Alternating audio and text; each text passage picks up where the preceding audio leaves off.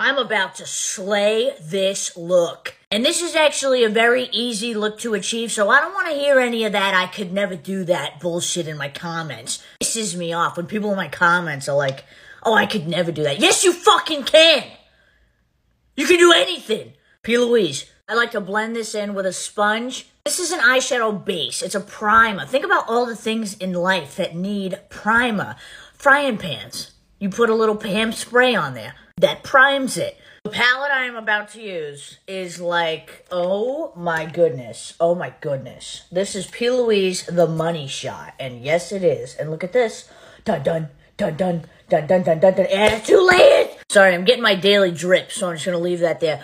This is L'Oreal Infallible Bronzer. I am just going to add a little bit of depth in the crease. I'm going to spread this all over the crease in the socket. You can technically use whatever green you want. I'm to begin to lay